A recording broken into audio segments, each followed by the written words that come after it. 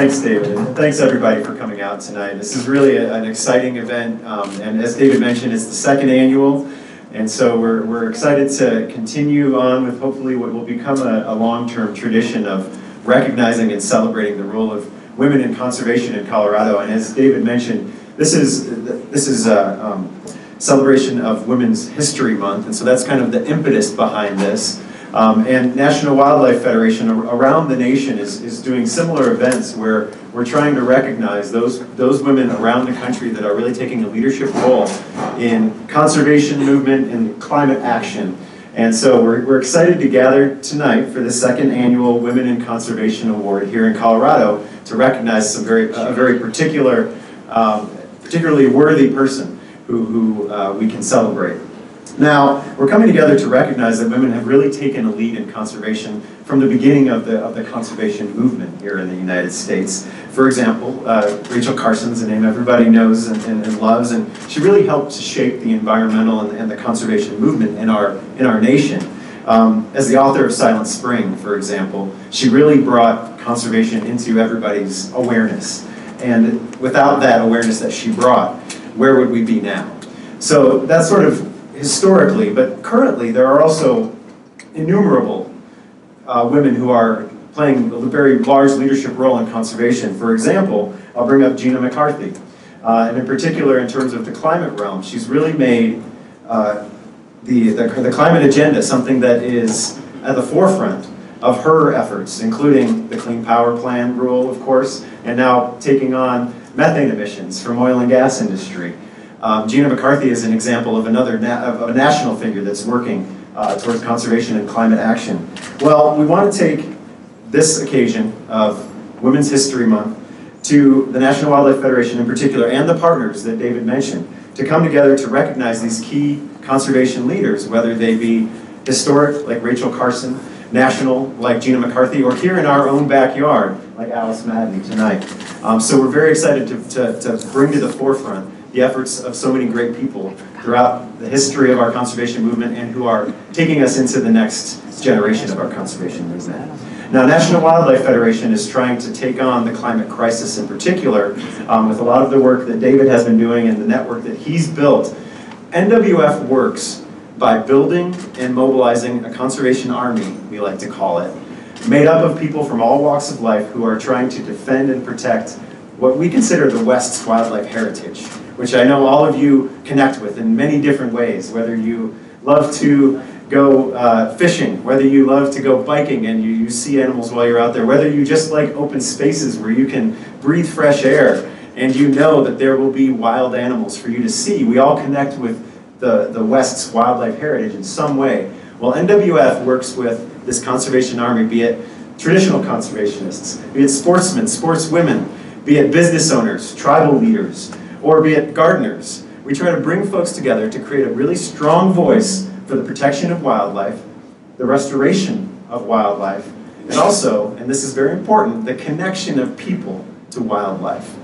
Because without that connection, we're not going to be doing this in 20 years because we won't have the conservation leaders that we need for tomorrow.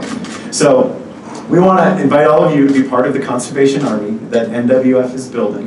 Um, and as part of that, I want to remind you, we have a, a, bowl there for a suggested donation of $10 so we can keep you know, both our efforts going, but also things like this, where the recognition of women in conservation can continue and grow. Please contribute if you can. Um, and also ask me or other NWF staff about what we're doing in conservation and how you can join that conservation army.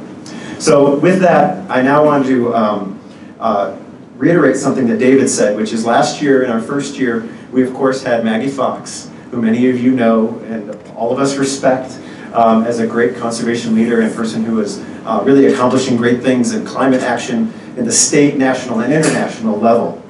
Well, we're also excited to invite other great conservation leaders here tonight, and one of those is Susan Daggett, who I'm going to introduce real quickly. Uh, Susan is the executive director of the Rocky Mountain Land Use Institute out of the Univers University of Denver. Um, I've had the honor of working with her over the past year on a Metro Denver Nature Alliance, where we're trying to really connect kids to nature here in the Denver metro area. And Susan has the distinction of hosting the first annual Women in Conservation Award in Colorado last year. And without Susan's efforts, we wouldn't all be doing this today. And so I want to introduce Susan, and Susan will let us know a little bit more about the uh, awardee of tonight's Women in Conservation Award. Please welcome Susan Daggett.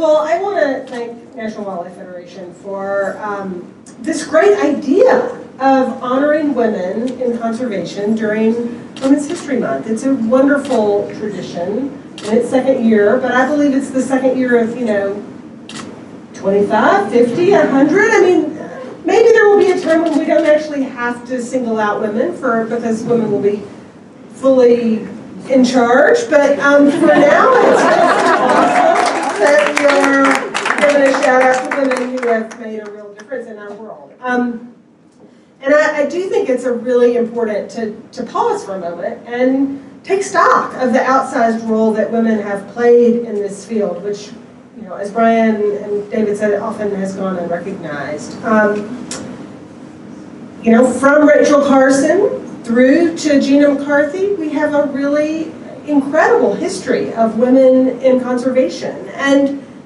you know, in, in addition, there are people like Sally Jewell, who is really focused on connecting kids to nature and creating that future um, conservation corps and the passion among children in urban areas in particular for our natural environment and the importance of protecting it, really trying to um, infuse a spirit of stewardship um, into our kids.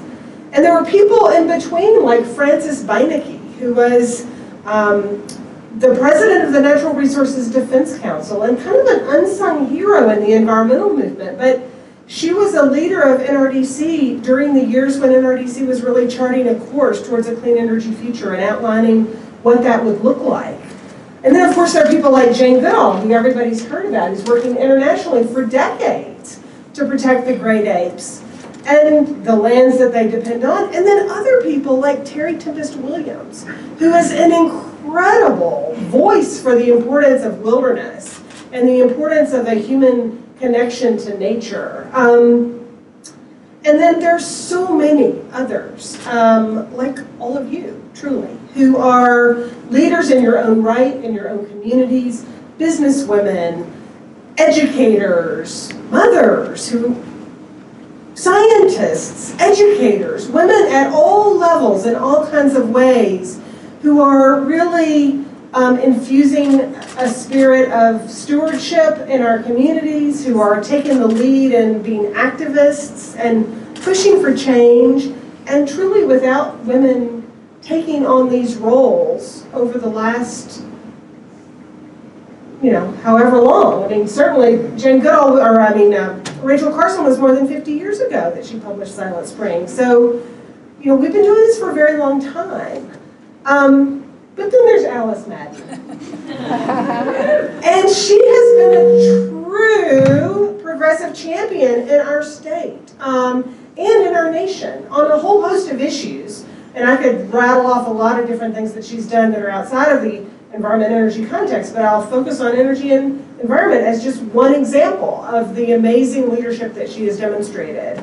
Um, she has, you know, really dedicated her life to making the world a better place. Um, starting in, when I first got to know Alice, she was the Senate Majority Leader in the Colorado State Senate as a House. oh House sorry sorry in the Colorado House, really playing a leadership role in um, electing Democrats to our our legislature and leading the charge on what we now think of as our clean energy economy. And a natural transition was to serve with Bill Ritter in the state government um, as his deputy chief of staff, but also as his lead on climate change and really getting the state ready to address climate change and trying to transition our state to a clean energy or a new energy future, a new energy economy. Um, she has also um, served as the Wirth Chair at the University of Colorado at Denver, and in that context really took her advocacy around climate to an international scale and started working with women in particular around the world in harnessing that energy to, to make the world a better place and really helping people enter into sustainability-related careers. In 2013, she joined the Obama administration and took a brief foray to Washington, D.C.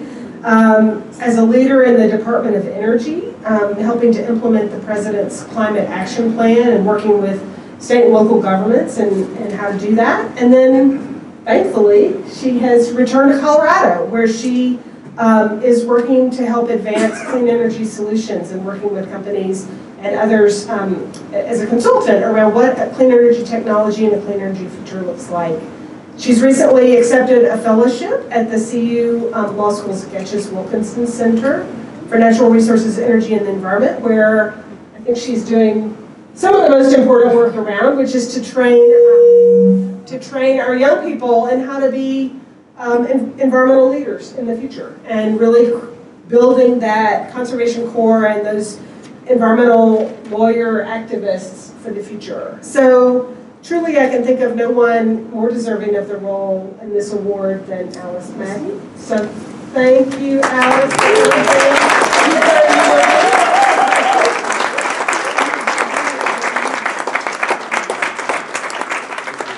Hi, everyone. I'm going to try not to blow us out. I'll try to figure the right, right way how many inches away from this I should be. Well, David and Brian and Susan, thank you very, very much um, for inviting me here. Really lovely introduction. Thanks so much.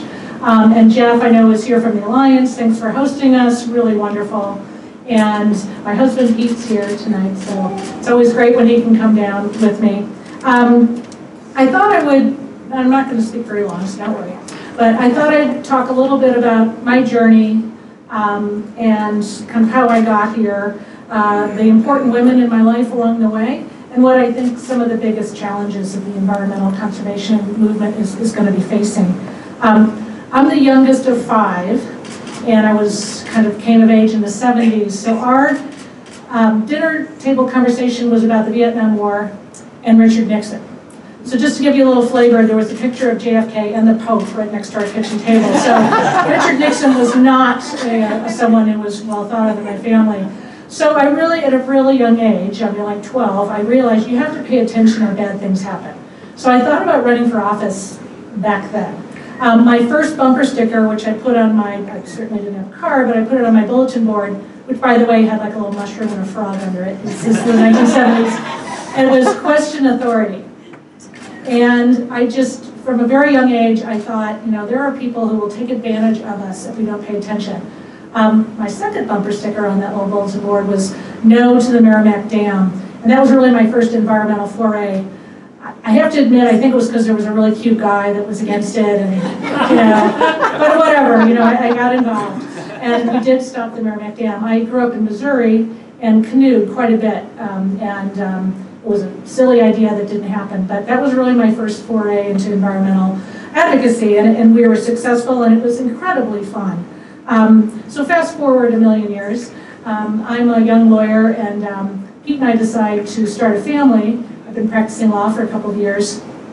And so I, I tell my firm I'm pregnant, I'm super excited. Everyone says congratulations. Right after the congratulations, the next phrase I heard was, well, you're no longer on the partnership track. So this is 24 years ago, I know things have changed, but um, it really made me question what I was doing. And um, even though, you know, I, two years later, we had two small kids.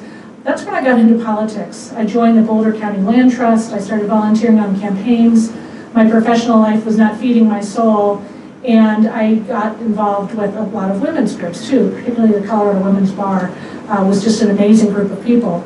Um, and some of you might, you know, I know it was mentioned, I, I helped lead the takeover in, in 2004 some of my uh, some of my initial motivation around that was in the minority. I served on the ag committee where all the environmental stuff went, and it would just get killed in the most dismissive way. You'd have common sense bills about wildlife conservation, the environment, about transit, and it would just die. And I watched these young, valiant enviro lobbyists just get smacked around every day. And I thought, okay, this really infuriated me, basically. And if you ask my husband, that's that's never the thing you want to do with me. So he took over the house. They never it coming. It was great. um, and most people think about what we did in 2004, you know, there was a book written about it, they think about the money. But what really happened, there was a core group of women that were involved who did this amazing organization. And we got all these groups that didn't really talk to each other, progressive groups, all to sit down at a table and coordinate. And there's a group of women that no one ever mentions. Kelly Nordini's here, she was one of them. Um, yeah. And I, and I should, I should step back and just say, before any of these other women, Jennifer Vega was really my first political mentor. I know some of you know her. She's now happily in Australia, um, away from the political life, but she really took me under her wing. And without Jennifer, I, I don't think I would have had the confidence to move forward um, on the majority effort. But a woman named Jill Hanauer, Beth Gans, Jennifer Brandenberry, and Lynn Mason were really at the core of the 2004 takeover, and their, their names are not mentioned. Sometimes I feel like the politicians are always the ones who people thank, but it's really like these amazing other people who are the Sherpas who really carry you up the mountain. So I just wanted to thank them. I have some really awesome environmental mentors too. Maggie Fox, definitely. I'm so sorry she couldn't be here tonight. She is a force of nature, uh, just, you know, mind-blowing, really. Um, Ruth Wright was one of the first real um, women I got to know in the environmental movement. When I first ran for office, someone I was interviewing with, I think Sierra Club for endorsement, said, if, if you could be a Ruth Wright, I thought, I will never be Ruth Wright. No one's ever going to be Ruth Wright. And, and I, was, I was able to build that confidence over time.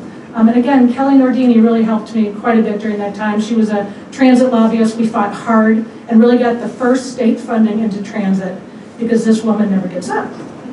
Um, and so we, we took over, but Bill Owens was still the governor. And uh, we decided to kind of go, I had a lot of bills vetoed for those two years. Um, but we, we built a standing committee on renewable energy and environmental issues. And Judy Solano, um, a representative at that time, really took that on and ran it. So when Bill Ritter was elected, we had a silver platter of bills that, that we were able to pass together. Um, so as I got more involved with the um, environmental movement, I, I noticed pretty quickly, as we all do, that it's not very diverse. Very white, middle class. It's kind of a luxury to be an environmentalist in some case, even though poor people suffer um, uh, and usually are, you know, live near where coal plants are placed and things like that. Um, you know, you look at membership, staffing, et cetera, board memberships of environmental groups, and, it, and it's pretty white. Um, so, you know, I've certainly talked to groups about that. Um, and when I, when I went into clean energy work, it was white and male.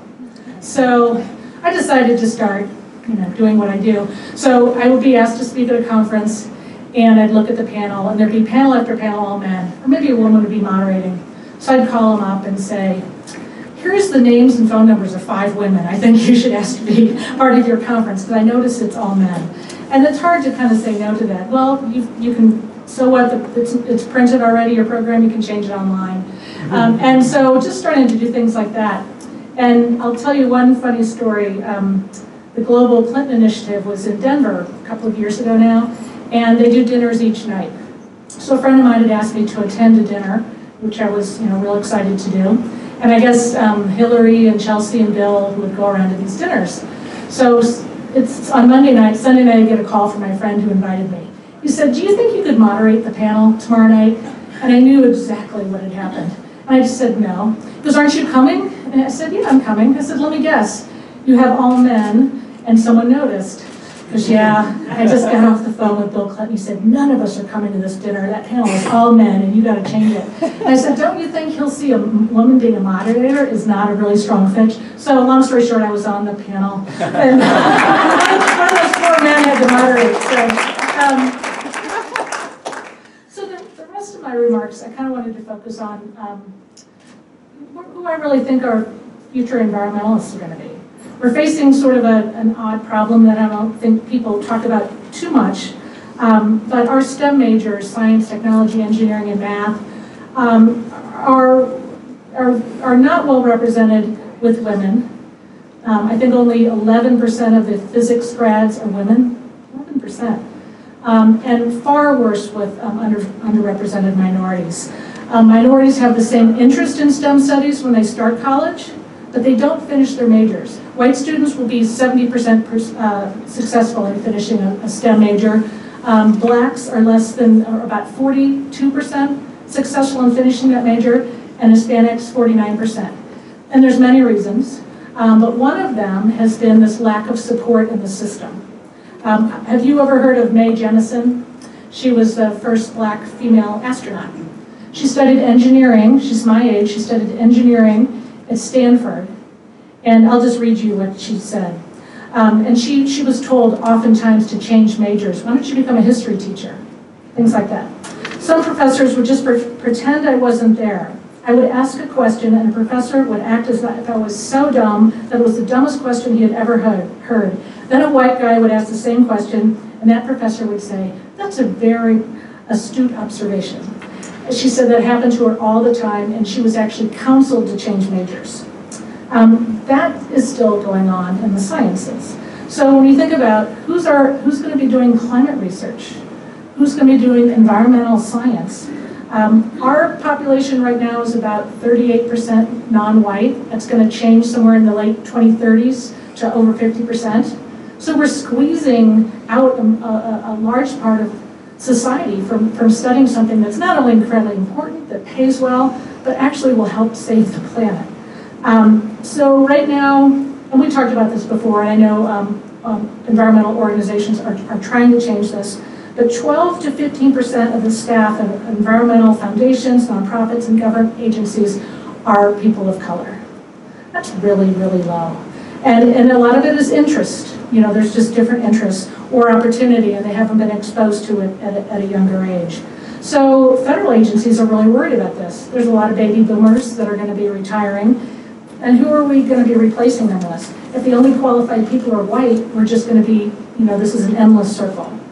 Um, so I don't like to just bum people out and not have any solutions. So, um, so one of the amazing things I got to do um, when uh, I was Wirth Chair was get involved with some folks, um, and we had students to do capstones. And actually, um, the Alliance was our um, was the students' client, and they did research in environmental literacy programs across the, uh, middle schools and high schools in Colorado. And environmental literacy is pretty amazing. It's, it's kind of like outdoor ed, too. So you do a, a, little unconventional learning around the sciences, you get kids outside, you're doing different experiments, but it had all these consequences that no one saw coming. So you get some ADD kid or a kid who's never really been outside thinking about it.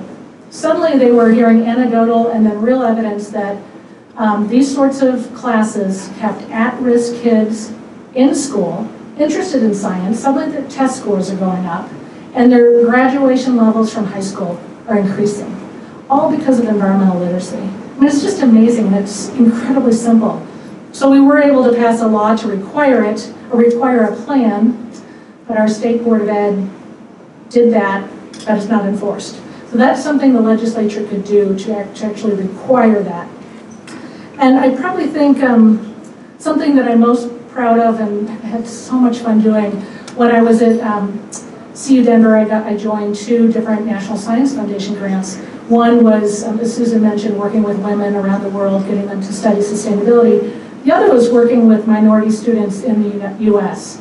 So for like, I don't know, the past six or seven years, every May, I go up to Murie Ranch, Marty, uh, Mardy Murie, Murray's, Murray's place, just outside of Tetons, and we take 25 to 30 college students from around the country, and I'm talking like from the Bronx, from LA, 80% minority membership of this class. And we, there's, a, there's faculty from all over the country who fly in on their own dime and, and teach these students. But what is really, I mean, the whole program is so amazing. You know, kids are seeing wolves and um, bears up in Yellowstone, and um, this faculty is amazing. I teach communicating science in a politicized world. Uh, but these kids start a network. And they stay networked and they, they welcome in the new classes. So for seven years now, you know, now we have several hundred kids and graduate students that take part in this. And they are taking care of each other. And that's just the sort of thing we have to demand that happens in our colleges, that we build a network of support so students of color feel like, I belong here, there's a future for me, and that will help the entire planet. So that's really all of the remarks I prepared. So um, let's make sure that we are inclusive as we look at this work. It's going to take effort, it's not easy. Um, I'm thrilled that there's so many young people in the room too, um, and a lot of women here, obviously. Um, I wouldn't be here if it wasn't for women who, who reached back and helped me. And one of the funnest things I've ever been able to do in my life is to mentor young people, and I, I hope to continue that. So thanks so much for having me.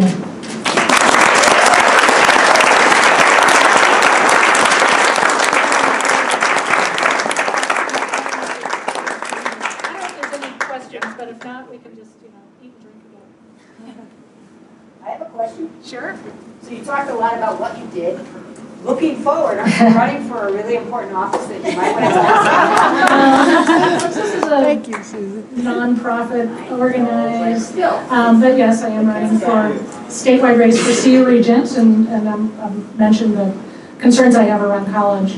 Um, but I'm happy to talk offline about that, I don't want to. Well, I meant, why, why are you running? So, I mean, I, I went to CU, I worked there, Pete asked me to marry him at a CU football game. So, um, we are, we are CU people. Um, and it's something I actually thought about doing even before I ran for state legislature. Um, I love the university, I, you know, being, uh, raising kids in Boulder, it's just a huge part of your life, although we're now out in Louisville. Um, I think the debt that students are facing right now is one of the biggest problems that we have in society that we are letting continue. And it's, it's, it's breaking the backs of our young people, and it's completely ridiculous. So looking at the system, and there's no one issue, and CU's actually done a really good job of, of being lean, but state funding, Tabor revenue limits, there's, I think there's real things that a progressive majority could do. And since you asked, I'll just say, if I do win, the board will have a progressive majority for the first time since 1979. So, but, enough about that. So a recent survey done by environmental groups showed that a large, I think over 90% of um, minorities had not been contacted by a national environmental organization. And that goes to a lot of what you're saying. So what are, we- I'm with the National Wildlife Federation. What do we need to do? You know, it's, it's, I did a, especially as we ran campaigns, um, I did a lot of studying about that, like how you motivate people and what they care about. Um, When times are tough, people's universe of caring shrinks. So they care about jobs, economy, healthcare, education. When times are better, people feel like they can spread their wings a little bit more. So there's, there's sort of that issue about, you know, um, you know, when, when times are good and times are much better now, that this might be a good time to do more research or outreach rather. But I think, um, you know, there, there's a program, um, Outward Bound now has Outward Bound Denver. I think that's amazing. So you're getting kids who might not ever be exposed to the outdoors to get outside. So building those early connections. Uh, my parents weren't outdoors people at all. Um, and so how do you, how do you create the opportunity for outdoor experiences? That's why I think environmental literacy, outdoor ed, you know, sort of create that. Um, and then it's, it's, it's the hard work of reaching out. So when I was at Department of Energy, one of our, so a friend of mine once said Alice doesn't work inside the box because she's never been in the box. And so I looked at this job as, well, no one gave me a handbook, so I'll, I'll just, I worked with NASCAR and all these different groups around clean energy. And, and one group we had great success with, it was so much fun, was the NAACP. And they wrote um, a 50 state report called Just Energy. And it wasn't just about clean energy, it was about the jobs. Because they realized, um, you know, black students are missing out on a huge job opportunity. So really, you know, counseling students and their parents about what it might mean to go into STEM studies. Um, and then the programs I've worked on have always tried to overlay a, um, a lesson around sustainability on that, so you can get more students working in sustainability fields. So there's no one answer, but I think that's one, one way to do it. Given the difficulty with Congress as, as it is right now, they've proposed holding Gina McCarthy up for treason. Are there ways to communicate with the other side of the aisle, and I know you're really good at that, but a really important thing for people to understand is how do you communicate with people on the other side of the aisle so that you can make progress on common goals? Do you have any ideas Well? Susan could probably talk about that. Her husband is Michael Bennet, and I think Michael's been incredibly successful at that. Um, You know, I think it's keeping the lines of communication open.